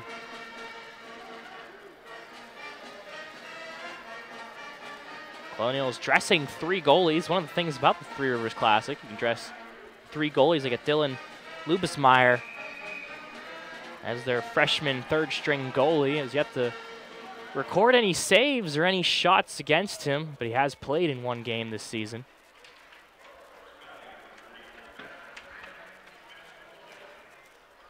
Yeah, it'll be interesting, interesting to see if you know the Colonials continue their dominant play and the Lakers stay off out of the score column. What Coach School is going to do, you know, in the intermissions, change some things up, maybe possibly, you know, you see Andrew Pickle have his appearance here in the Three Rivers Classic. Couple opportunities for Lake Superior. They're on the power play as Matthew Graham, the shot there, block save by Marotte. Matthew Graham with a power a penalty on the Colonials. So Lake Superior with another opportunity on the power play. And they've had a couple shots. That one goes wide, looking for a rebound. They could not get it. Lake Superior maintaining the possession in the offensive zone, battling for it, and then finally cleared out. That's Timmy Moore who sends that one down the ice. And the Colonials will be able to get off the ice for a line change. And one, you know, biggest big difference I've seen you know, which I think is the reason why the Colonials are up 5 nothing, is more of why Lake Superior, you know, is down. Um, you know, there was some rebounds from, from Marotte, but the Colonials, when they get push shots and big rebounds off of the Lakers goaltenders, someone's right there. Now that is not happening with Lake Superior when they're when with, with their offenses. No one's there to get the rebounds. They can have some, you know, maybe one or two goals I've noticed so far in this game. If they were Taken away and a shot. There cut you off. Luke Lynch was the one who stole that away. If somebody was, you know, just there, it would be, you'll be maybe a different story here, Spencer. Anderson with it. Cross ice. That shot blocked away by Marotte. Colonials able to kill off the penalty. A two on one. Trying to get to Graham. They could not. Graham was coming out of the penalty box. So, minute 50 remaining in the period. Colonials scoring five goals, three in the first and two in the second. They have as many goals as the Lakers have shots, although that number should change. Not exactly sure what. The Lakers have had a couple shot opportunities in this power play. Although the scoreboard right now reads 5 to 26. So right now, Lake Superior looking to start some offense, get anything going, but the Colonials sending it down the ice, but it will be an icing call on Robert Morris. The, So- the Lakers have been stuck on that five for a while in the shot column. Yeah, we look at shot attempts, 43 to 19, and we've talked about this before. The Colonials are a very good team when it comes to shot blocking, and they're frustrating the Lakers. You know, it, it may look like a little bit of a struggle early in the season because I don't think a lot of Colonial fans, you know, ex- realize how big of a, a defensive impact uh, Rob Mann was. Just like that, I want to mention a shot taken and blocked away, and so an opportunity, but a stick was pulled up. Shot by number 24, Tonge, the one who blocked it away. Like we were saying, these shot blocks, especially if you can get it to yourself, it gives you the possession of the puck as well after you block the shot. That shot by Tonge. Taken away, but like you mentioned, Rob Mann, one of the best when it comes to hmm. blocking the shot. The senior last year, Just so big. he was huge, about, I'd say at least 6'4", I think. The man, one of the taller people on the Colonials, was able to get in front of just about everything. but now you have, you know, players stepping up like Eric Israel, you know, second in the conference, tied fifth overall with 43 blocks so far. Yeah, 43 total blocks And that- coming into this game. That number definitely has changed. We've seen it- Israel block a couple shots in this game. Time expires here in the second period. It's three goals in the first, and then the Colonials adding two to their lead, give them a 5 nothing lead. So we will take another intermission break, and again, our intermission, our intermission show will be led by Morgan Torchia and Matt Simkovic. And we'll thank you for that. And we'll tune into the third period here on at the PPG Paints Arena.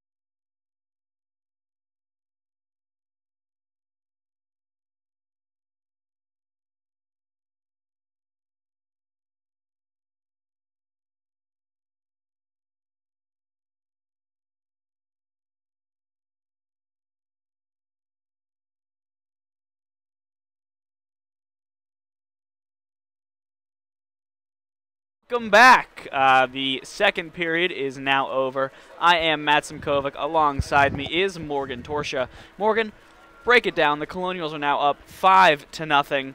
Uh, what are some things that you saw that period? Matt, I'm not gonna lie. You know what I saw? I saw more goals made by the Colonials. That's what I saw out there. That's right, you did.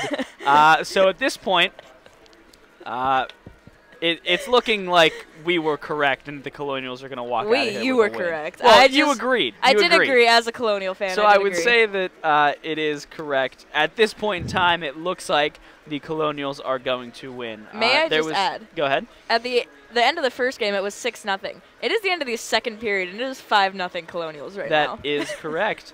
Uh, so it's looking like uh, the Colonials are just absolutely dominating the Lakers. uh-huh. Um, As uh, as Three Rivers Classics champions though, the past two years in a row, like you knew they they already know what they're going into here, so they do Especially have like a home rink advantage. teams. I would say, yeah, three Yeah. teams that have never been here before. Speaking of home rink advantage, they did just play Penn State Yes, they at this rink, Mhm. so they are They've quite been comfortable familiar. here. Yeah, they uh, they lost against Penn State, but they have um, played in PPG Paints Arena recently, so they do have. I'll agree with you there. They do have kind of a home rink advantage Mhm. feel. Um, especially hosting this event and then going for, like you said, their third straight Confluence Cup, which is the trophy that you get for winning the Three Rivers Mhm. Classic. Um, honestly, the Colonials look comfortable. Yeah, I was gonna say these past couple games, he hasn't been bad, but Brady Ferguson has been a little bit inconsistent, not as dominant as he usually has. He's In, in the definitely beginning half of the season, up Yeah. until these past Mhm. few games. These past yeah. couple games, he's been amazing. He's been on fire. That is absolutely correct. Not gonna lie, I thought you were gonna say on fleek for a second. And I was on about, fleek, to, I was about no, to have a problem no, with he you. Is on, well, he is on fleek. You could say that, but I could that's, say that's not my uh, my phrasing that I chose there. Um, something that I would like to point out, though, Nick Jenny, uh, he had just he just scored his first NCAA goal. Mhm. On the lineup here, he's paired with number two, the captain, Alex Bonje, as a freshman, Mhm. which is something that in That's a lot Division One on. hockey you don't see all the time. Uh, he's played five games. Before this, he had one assist and one point. But he was a very solid defenseman. Mhm. Uh, he looks, especially for being a freshman, he looks. I'm gonna use it again. He looks extremely comfortable. Mhm. Um, he's. I wouldn't look at him out there and say, "Oh, I'd assume, oh, that's a junior. Oh, that's a senior." Yeah, I wouldn't would, look at I him and go, "Wow." him because he plays with the class that Mhm. comes with being an upper class Yeah. member of the team. Um, once again, they're just a great period all around. Uh, they just brought up before the fifth goal a uh, graphic here at the Three Rivers Classic. Already before the fifth goal, 10 members of RMU have contributed points tonight. Mhm. So that is absolutely insane. Uh, it shows that we are a very spread out team. We don't have one superstar that is carrying the team. Yeah, If- in when- years when past, there'd definitely be like one player that stood out. And we definitely do have Brady Ferguson's definitely standing out. A couple other, but like as a team, Oh, as Wow. a team, we're yeah. That's an, that's what I was just gonna say. As a team, when you have like distributed lineups, uh, distributed points throughout the lineup, you really there's not really no one that can stop you. Um, at least in this game so far, the Lakers have not stopped the Colonials. no. Um, and another thing about Brady Ferguson, he should feel especially comfortable in this building, considering that he was actually at the Pittsburgh Penguins development camp over the summer. Yeah, also, I'd like to point out Francis Marotte clearly with a 5-0 right now. He's been doing incredible. To be fair, he has only faced nine shots, Hey, but he's he blocked is, all he nine is of those doing shots. incredible. Uh, there were a few whenever they had one of their power plays. Um, there were a few that were tipped in front of him, and he was able to just kick his leg out Mm. or close his five hole in that split second and uh, really make the last minute changes. But he is standing on his head for Mm. this team. Um, do you think that this could be used as kind of a turning point in the Colonial season? Up 5-0 in Game One of the Three Rivers Classic. Let's say best case scenario, not to jinx anyone, knock on wood, um, they win the Confluence Cup for their third straight title. Uh, do you think that this could kind of carry out into the rest of their season? Absolutely. As I as you and I said, uh, they've they were inconsistent at the beginning, but every year it seems after the Three Rivers Classic, especially the past three years that we've witnessed when they've won, I think they've definitely taken that as great motivation, just finishing out their season in general. Because if they can play here and they can win for a third time in a row, I mean, how could you not have confidence going into the rest of the season? But I do have a question for you, Matt. Oh, ask away, Morgan. All right. So, what do you think the coaches for each team are saying to them in the locker room right now? Robert Morris, uh, I feel like Coach Schooley is definitely just saying, you know, they're really playing their game. They're fast, they're throwing the body, uh, so they're physical. Um, honestly, just their passing looks really good. There's not a lot of uh, messed up passes throughout, uh, but there's um, a lot of just speed. They're really pressuring the Lakers, like really pressuring the Lakers. Uh, they're not giving them the time to think to make the plays. They are right on them before they can even notice that they have the puck, and just as quick as they got it, it seems like it's back on a Colonial stick. And what about Lake Superior State? Uh, Lake Superior State, they have to kick it in gear. They really do. I mean, down five nothing, you That's can't rough. be. You can't be doing that.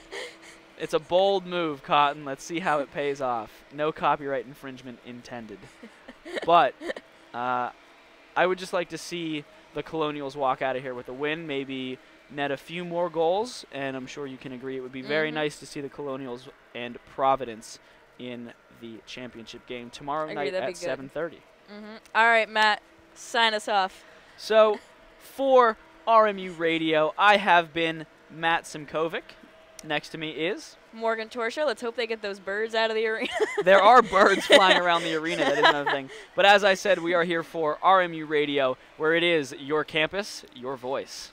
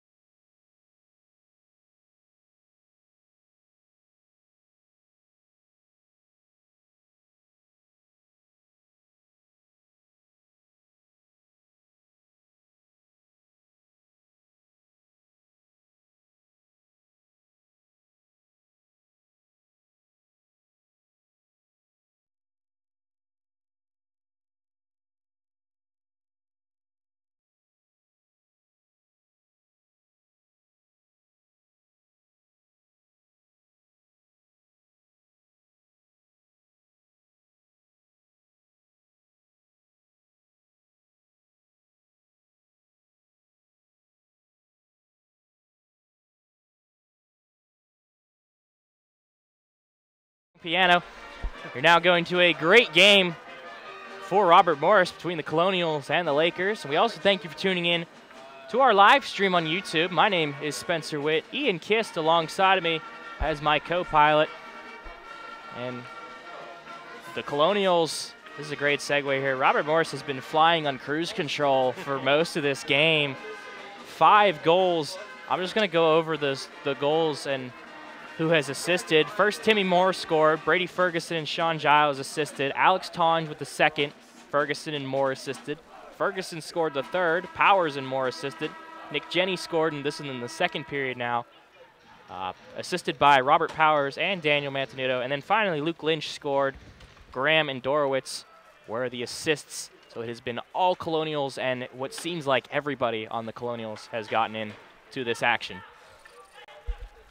Yeah, it's you know like the old saying, you know, you get a point and you get a point and you get a goal and you get an assist for you know making you know poking some fun at Oprah there when she gives away like cars and stuff all the time on her when she had her show. But yeah, just uh, uh, it's, it's good to see not a one-man show. Because there's times that Colonials fans see a one-man show in Brady Ferguson, or you know they, they only get one goal. But here, build themselves that five nothing cushion, build himself a three nothing cushion at the end of the first, going into second, added two more, and now here we are with 1944 early here in the last frame of regulation hockey. But just everybody getting involved, nobody you know taking excuses of why they're not performing. Everybody just being you know being gritty and going out there and, and, and doing what's asked of them from the coaching staff. Might be a milestone here as a shot taken by Lake Superior. First time I think I've ever heard Oprah referenced on an RMU radio or an RMU live broadcast. But yeah, you're exactly right in the comparison. It seems like everybody is getting into the action, and Lake Superior will be on the power play.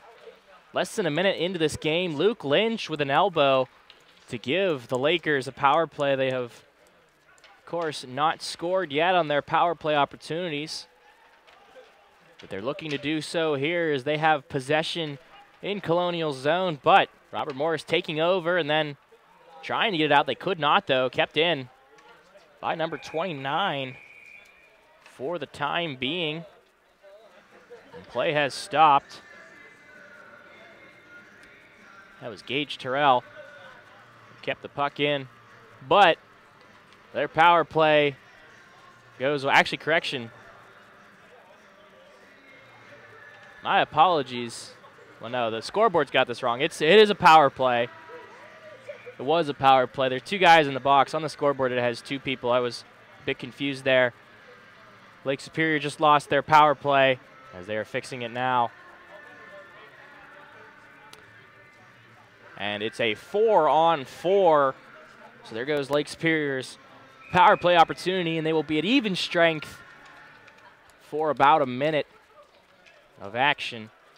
Lake Superior taking over as they win the faceoff in their own zone.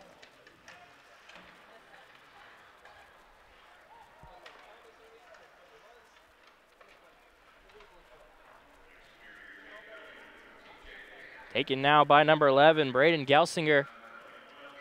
Gelsinger over to William Rydell. And taken by Mantenuto and trying to get out of their zone. They do is Powers.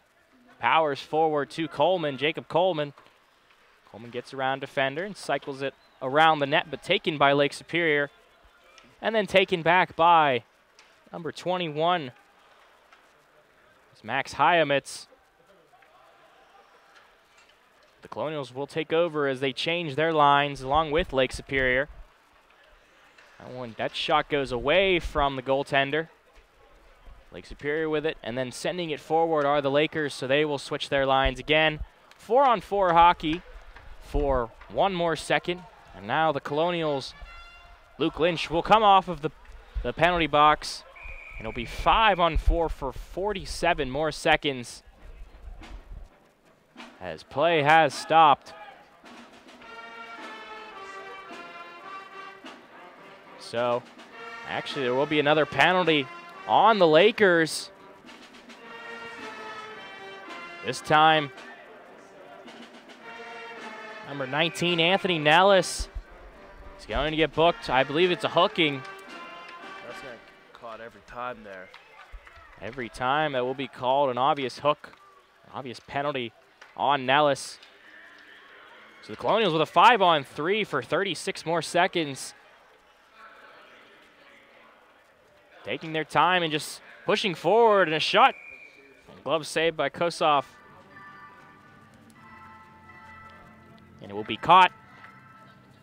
And play will stop with 17 minutes and 20 seconds remaining.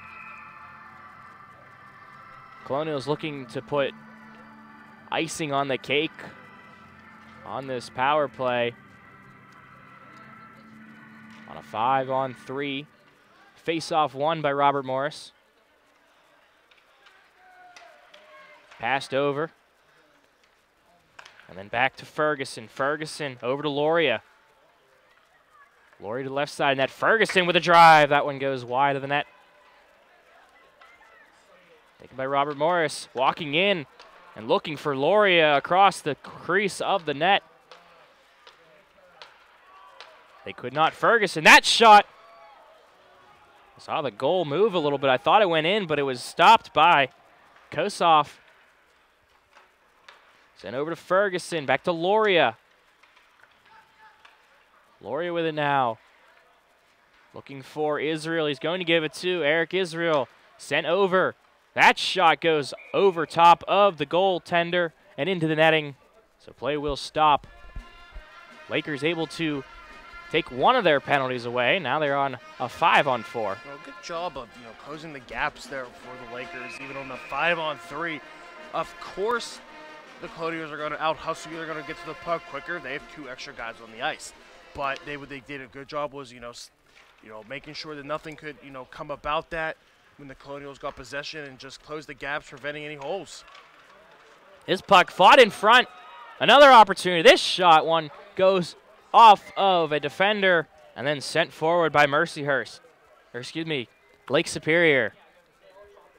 We'll get that right eventually. I what is looking to be, depending on a ginormous Lake Superior comeback. They would need five goals in this third period. The potential for them to play Arizona State in the consolation game. Logan Carney and I will be on the call for that one. And if Lake Superior is in that game, I will make it my goal to make sure I get Lake Superior's name right every time.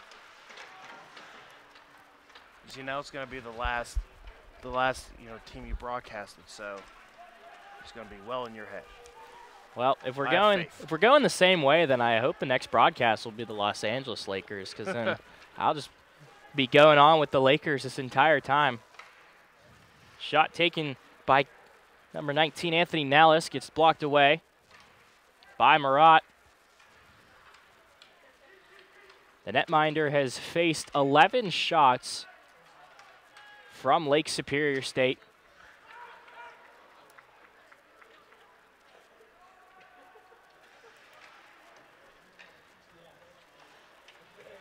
And now the Lakers pinned in the corner. Taking it now is number 10. He sends it over. This shot goes wide of the net. Brandon McKay, who took the shot. Actually, correction, Brandon McKay was the one who passed it. McKay with this time with the shot, but that one goes off of one of the bodies of the Colonials and taken now. Opportunity, a big shot. That goes wide. That was Jacob Coleman sprinting down the ice. And he took a big blast, but it went over top of the cage. Lake Superior's shot goes into the glove of Marotte, and he will hold on to it. That was JT Hankey who shot that puck for the Lakers.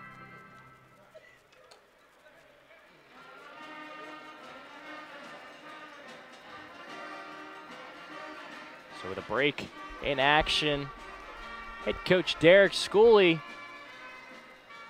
looking to give the Colonials a bit of a rebound in one of their worst starts to the year so far, but they have starting to turn it around in this offensive barrage here. 5 nothing is exactly what they were looking for.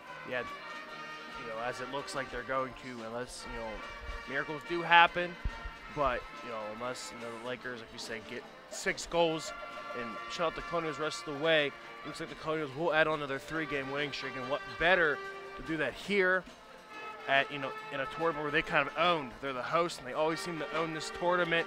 Show up every year, show their dominance. But to take that into the new year, when you're going to have a lot of getting year, you know, you're playing ranked teams, Penn State, Ohio State, uh, Ohio State being earlier in the year. But you know, when, when it's down to the nitty gritty, it's conference time. It's it's straight up conference time after this tournament. So you know, a game where you know you can come out, play some teams out your conference. You know, use that. You know, Colonials they they come into this building looking to win, but you know, you use some non-conference games to kind of tune some things up, and the Colonials definitely look to be, you know, propelling propelling great right now. Shot towards Marotte is gloved by the netminder. We'll have another face-off. Two Marats left. As it has been all Colonials and some of the highlights shown on the Jumbotron are all the shots for Robert Morris. 32 shots for the team from Moon Township.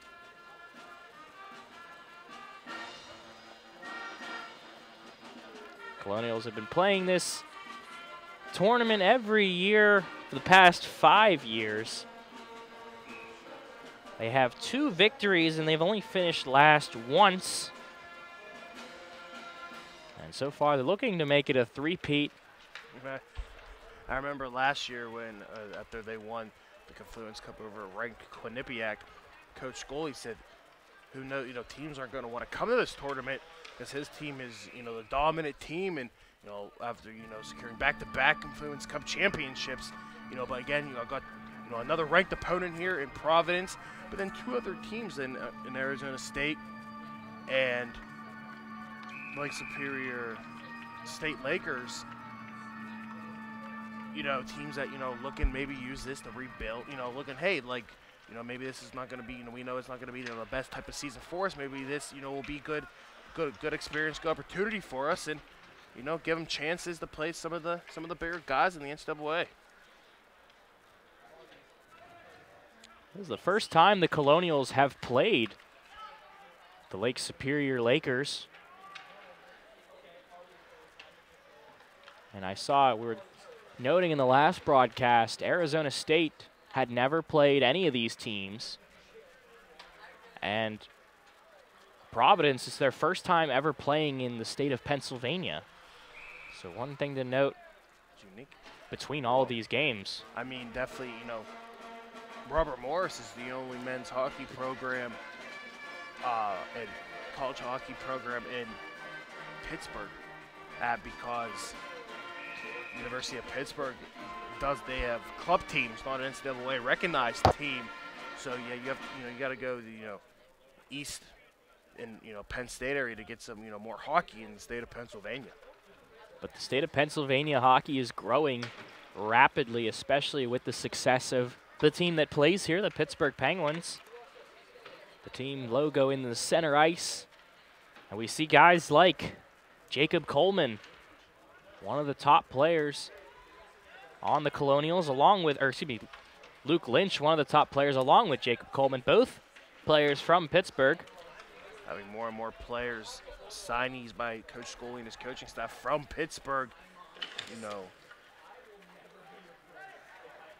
it was kind of rare there for a little bit, but then you know the Lynch connection, the duo there with Zach and, and Luke, and then Jacob Coleman, kind of building that you know that pipeline. Definitely something the Colonials are looking forward to. Is this bit of a Pittsburgh and Pennsylvania success as that shot goes over top and away from Marotte. With 11 minutes and 40 seconds remaining in this third period. Colonials up 5 nothing.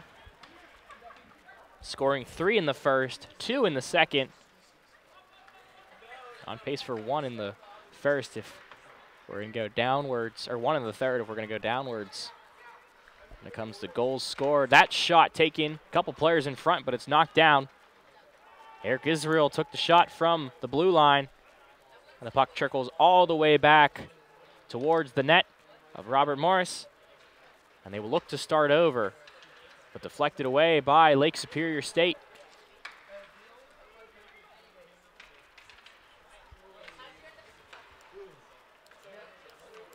Fast forward, a big hit, just pushed right down.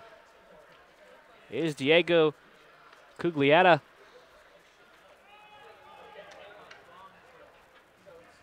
Elias Gantus was the one who gave the hit. Eric Israel. Israel tried to get around a defender, but his stick breaks. Taken still by Robert Morris. Nick Prkusic with it. Matthew Graham along there as well. Graham looks to get it out, but he cannot. But the Colonials keep possession. That one thrown towards the net. Out of the reach of everybody. Max Humitz spins around one player, and then it's sent over to the far corner. Where it's taken off the boards and sent down towards Marotte. Marotte will have to play it. And the Colonials will set themselves up. Eric Israel with it behind the net. Actually, correction, that was Sean Giles behind the net. Pushed forward, Loria. Loria got a stick on it, and it went out of play, so no penalty, and then we have face-off in neutral ice. Nine and a half minutes remaining in the third period.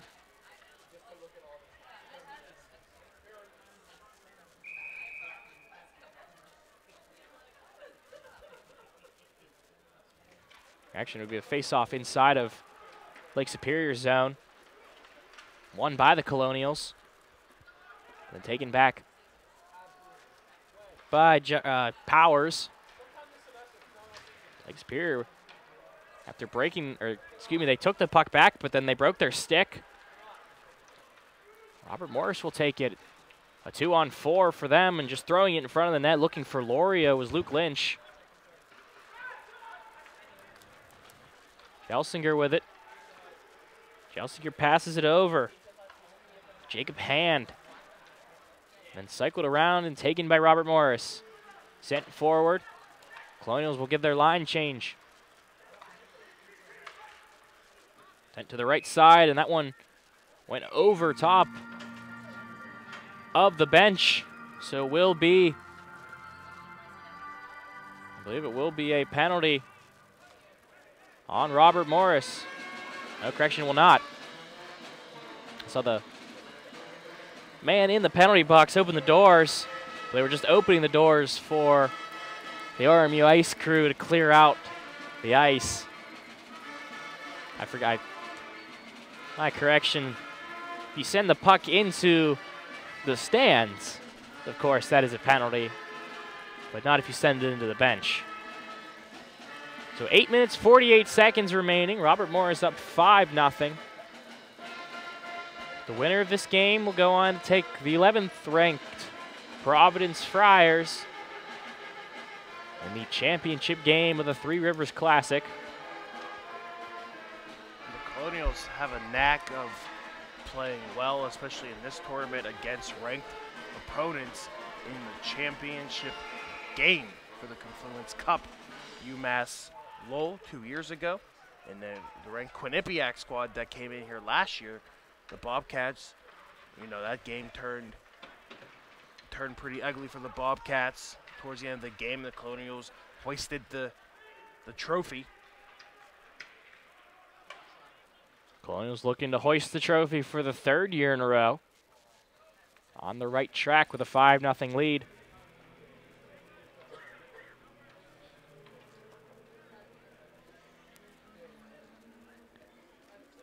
It'll be a face-off to the right of the netminder. Kossoff.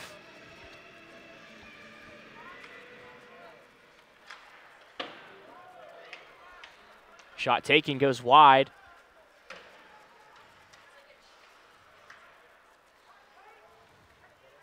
And Ian, I, I got to ask you, Ian, let's take a look at this from Lake Superior State's side of, of point of view. If you're if you're the Lakers right now, you're sitting here with a five nothing lead, but what or five nothing disadvantage, but what can you take away from this game for the Lakers?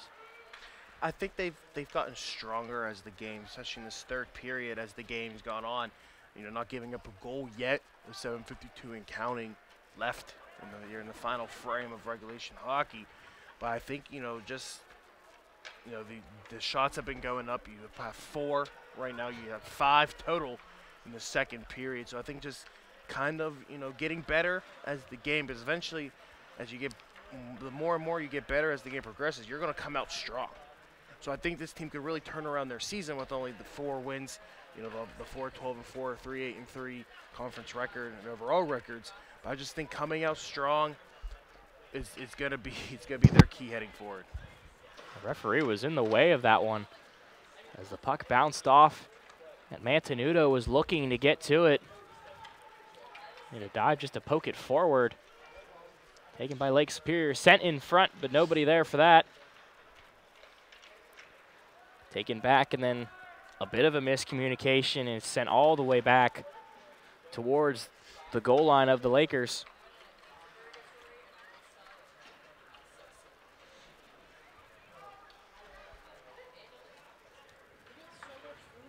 It appears definitely the Lakers definitely, you know, being the more the better team here in the you know, if they're getting getting you know being aggressive, trying to get that goal, what we what we haven't seen. I thought they were you know pretty weak heading towards the net. Guys not in the right positioning as the Colonials were. You know, I thought the Colonials built their 5 nothing lead. They had guys knew where they were, and it looks like Lake Superior's, you know, they're far from taking over this game, obviously, but, you know, showing that they're not going to totally go down without a fight. Yeah, keeping the Colonials in check, I think, is the best thing Yeah. to say about this Lakers team right now. And then I think we've mentioned enough in this broadcast that the Colonials, everything going right right now. This is exactly what you were looking for in this first game. This is a feel-good type of game here. You're coming off of that, the Mercyhurst. Uh, uh, I probably shouldn't bring up that, that team Mercyhurst for you there, Spencer. But those two wins and that sweep, you'll come out and then and build off of that win here. You know, with the five nothing lead so far, got has to feel good for for the guys in red and uh, and and Derek, Coach Derek Schooley. The boys in red have five goals. The boys in cream and blue have zero right now. We've seen one shutout in this tournament so far. 6 0 Providence defeated Arizona State. The Lakers looking not to join the, to not join them, but the Colonials looking for their sixth goal. That one in front. And it's going to be a high stick You, see right right there, Spencer, is when the Colonials would score earlier on in the game. Yeah. But now you s- saw every Laker jersey in front of the goaltender, preventing that puck from going in. And you didn't see that near to none earlier in the first two frames. Yeah, the Lakers were crashing the net just as much as the Colonials right there. As it was Alex Tonge who was in front looking for his second goal of the game.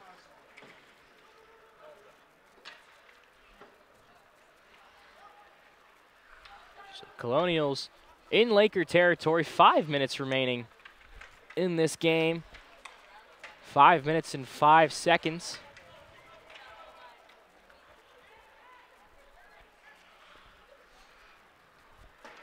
Sent forward off the board, so Robert Morris will switch their line. Taken out by the Lakers towards center ice. Anthony Nellis. Nellis just sends it towards Marotte, so they will switch their offensive lineman as well.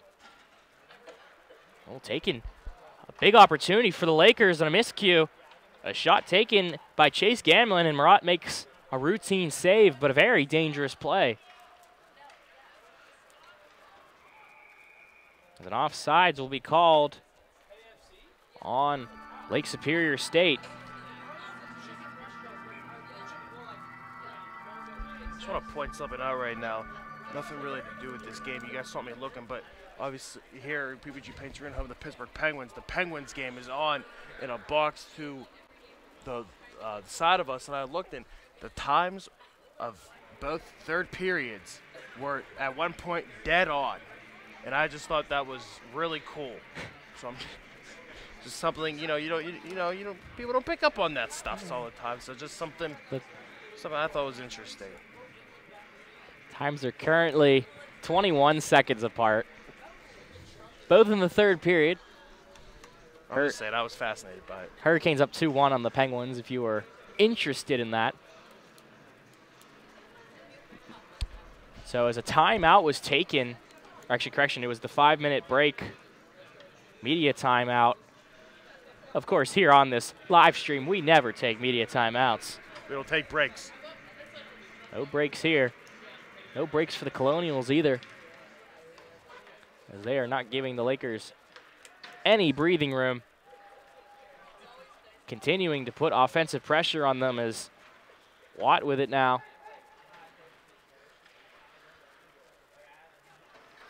Taken by Mercy or excuse me, Lake Superior State.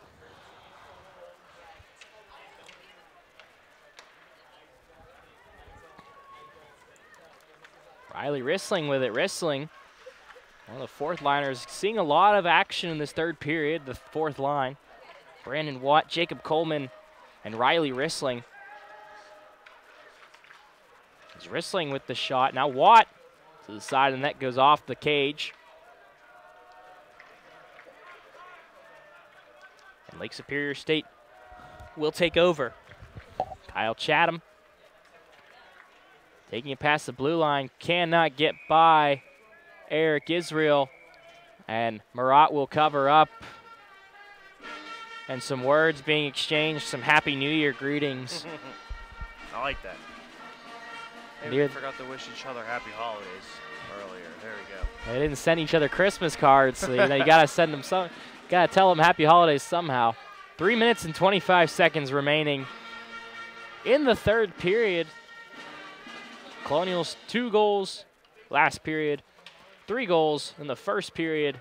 They have yet to score in this period. The Lakers looking to not be shut out. There would be two shutouts in this building today as we, we streamed and broadcast on RMU Radio and YouTube the first game, semifinal game in this tournament here, the Three Rivers Classic of Arizona State and Providence College. A 6 nothing shutout by Providence. The Lakers have been shut out three times this year. October 28th, they were shut out by the Spartans of Michigan State 6 0. They were also shut out in back to back games by Minnesota State Mankato 7 0 and Michigan Tech 3 0. So, two of the last three games for Lake Superior State, they've been shut out. And offensively, they have struggled in the past couple of games. And when you can't generate any offense, it puts your goaltenders in a bit of a bind because now they have to make so many stops because of so many shots from the other team. The Colonials, 35 shots in this game. Lake Superior State with only 16. Final two minutes remaining in the third period. Once again, we remind you to join us tomorrow for the broadcast. What is looking like it will be Robert Morris who will take on Providence College. That is in the 7:30 game. Game, of course, will be streamed on YouTube and broadcasted on RMU Radio, your campus, your voice. Also, the consolation game will be broadcasted on both streams and RMU Radio. As it will be Arizona State, the Sun Devils will take on Lake Superior State, the Lakers. The final minute and a half of play. The Colonials will be on the power play for the last 90 seconds as a penalty on number 21, Max Humitz, will put Robert Morris on a power play. Not the way to end the game if you're Lake Superior State. Yeah, Lake Superior's coaching staff does not not happy with the call, as it appears, or with his player. They did win the face-off, though, and were able to get the puck out of their zone for a little bit of time. Coleman sends it cross ice. Back to Rissling. Rissling over to Coleman, and then back to Rissling at the blue line. Rissling sends it back. That shot taken by Nick Jenny goes off the pad and into the netting with exactly one minute remaining in the third period.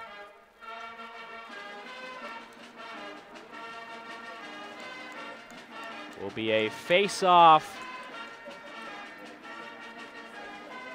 to Kossoff's left side.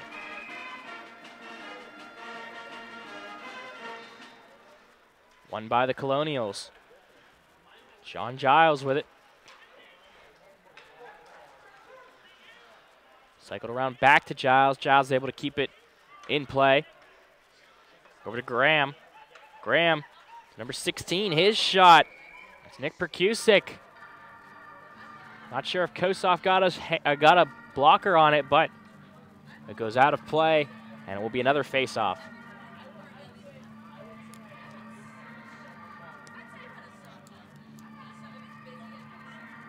That did go off Kossoff's blocker. With a point blank save for Kossoff.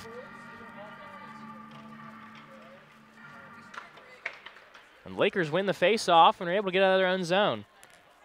35 seconds remaining in the game.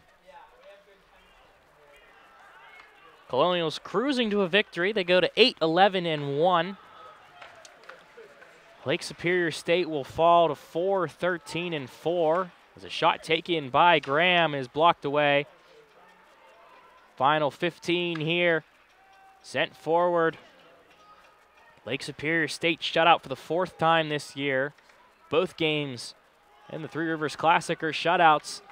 Final five seconds remaining. The Colonials with a commanding and dominant victory as what seems like everybody was able to get on the scoring sheet for Robert Morris. They will move on to the championship and take on the Providence College Friars. Man, it has to feel good for these Colonials.